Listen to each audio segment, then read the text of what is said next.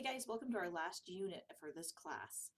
In this unit we have six chapters. We're going to cover chapters 15 through 20. And in each of these chapters we're going to be applying the information we've been learning in the previous 14 chapters for this course.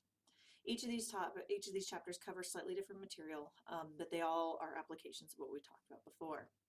Chapter 15 has three topics. We're going to talk about intracellular compartments and their evolution. We're going to talk about um, transport, and then we're going to talk about transport within the cell. And so in this first topic, we're going to focus on some organelles and their evolution, more than the mitochondria and chloroplasts that we've been talking about so far this semester. So as I just mentioned in our topic outline, we're going to talk about organelles that are involved in transport within the cell, as well as um, some of the other organelles too. And then we're going to talk a little bit about the evolution of these organelles. As always, here's our topic objectives. Please let me know if you have any questions about any of these so we can make sure we clear them up. As you notice, there's two evolutionary theories we have on the objectives list, so please let me know if you're having a hard time differentiating between the two of these. We've talked a lot about the endosymbiont theory. Now we're going to add the endomembrane theory to our list of understandings. So why do cells need organelles? We know that eukaryotic cells have a, a large amount of organelles in their, in their cells. We've talked about this in chapter one. And, what, and we've also, throughout this semester, have talked about tons of different activities that are occurring in these cells. And there's a lot more that we haven't even covered yet. And what is important about that is that we have to be able to keep all these events separate because otherwise they could be interfering with each other intentionally or unintentionally. So that's why it's really important that we have these cross purposes and separate organelles. And so we have a whole bunch of organelles that do a lot of different things. But as we've talked about so far, we have the chloroplast and the mitochondria. Could you imagine what would be happening if we had photosynthesis and cellular respiration in a plant cell occurring in the same vicinity of each other, not within the mitochondria or the chloroplasts, and how muddy that could get really fast. All of these organelles develop through different processes of evolution, either the endosymbiont theory or the endomembrane theory, and we'll talk about both those here in a second. All right, so let's get started with talking about our organelles first. These are our membrane-bound organelles. We're going to talk about the types of organelles, we're going to talk through some of their functions, and then we'll wrap up with the evolution. This is the chart to learn. This chart goes over all of the organelles that we're going to talk about in this, um, in this topic. So make sure you understand these um, organelles. And as you can see, your, this chart gives you a little bit of a reference to other chapters where we've referenced them before. So make sure you have a good feel for them. Our first compartment we're going to talk about is the cytosol. Remember, the cytoplasm is referring to the jelly plus everything suspended in it. The cytosol is just the jelly that suspends organelles and the cytoskeleton. It's kind of what keeps everything together. And it serves as the site for a lot of metabolic processes. And it helps pass signals. So it's really this big messenger system. It allows for a lot of things to occur. It allows for transport to occur. The cytosol is a really important compartment within the cell. Without this, we wouldn't be able to as easily pass signals or um, transport items throughout the cell. Now the next one we've talked about is the membrane, or the nucleus. And we have two membranes in the nucleus, as we've talked about, and they have nuclear pores. So we know that that's how we get things in and out. We've talked about regulation through transcription to inhibit what goes through in and out of the nuclear pores. It's really important that you recognize that that double membrane does play a role in that. And it's the most prominent structure, as you should know from looking at any light microscope. It's the organelle that you can see readily, and it contains the DNA of the cell. If you don't know that yet, um, come see me because we really need to make sure you get that under your belt. The next organelle we're going to talk about is the endoplasmic reticulum, and this is connected to the nuclear membrane. And we call it the ER for short. And remember, there's two types of ER.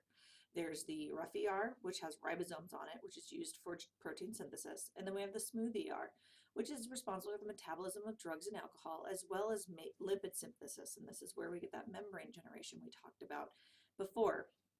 So it's really important to understand that. And it's continuous with the nuclear membrane. So as RNA is leaving the nucleus, it can go straight into the endoplasmic reticulum. So make sure you understand that. Make sure you understand the two of these. We'll be revisiting the ER again in the next unit or in the next chapter because it's involved in cell communication, but make sure you understand where the role of this endoplasmic reticulum. The next one is our Golgi body, and it's located near the nucleus, but it is not located, it's not directly attached to the nucleus like the ER is. It's not directly attached to the ER, it's actually separate. And it's, report, it's responsible for sorting, modifying, and shipping proteins. It's really like the UPS center, the post office of the cell. and it helps make sure that things get uh, proteins and other organ um, things are being produced in the cell helps ensure they get to the right place.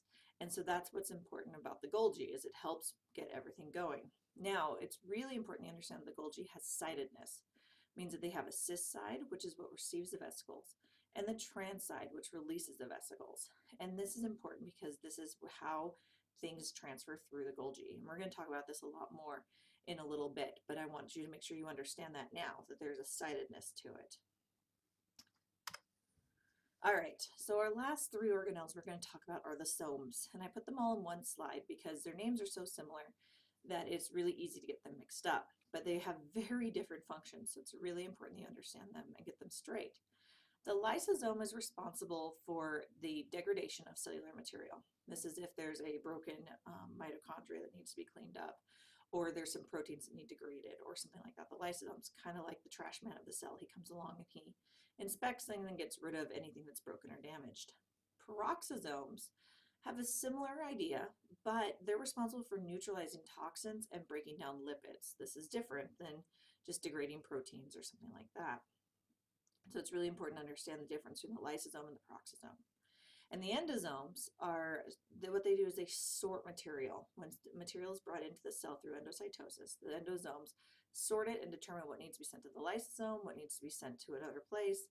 That's the endosome. They're all small sacs. They all look similar, but they all have very different functions. So make sure you understand the differences between the three of these because they're, they're going to play a role later. And as we wrap this up, I know we didn't talk about the mitochondria or chloroplast, but after the last chapter, I figure you've got a good handle on them. So if you need to refer back to chapter 13 and 14, to look at the mitochondria and the chloroplast structures, please do.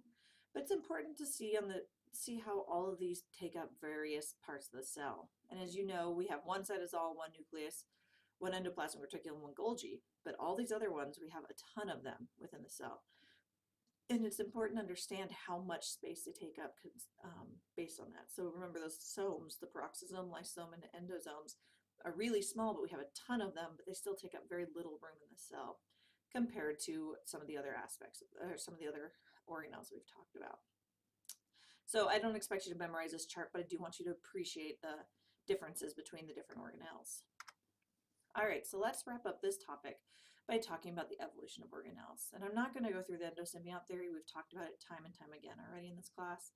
So if you're still struggling with it, please let me know so we can go through that. But Remember, the endosymbiont theory is applied to the mitochondria and the chloroplasts because they have a double membrane and they have their own unique DNA. And those are the two, two of the cornerstones we use in this theory.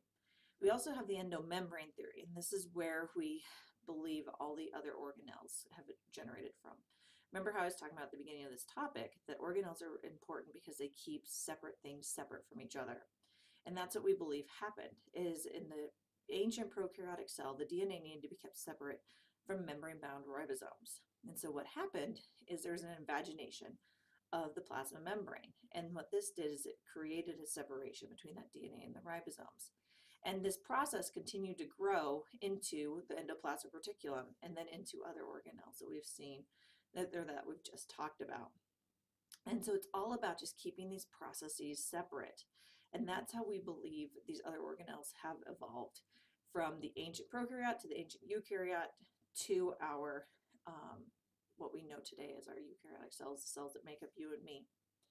So this is the end of this first topic. Please let me know if you have any questions about it, and we will move on to the next topic when you're ready.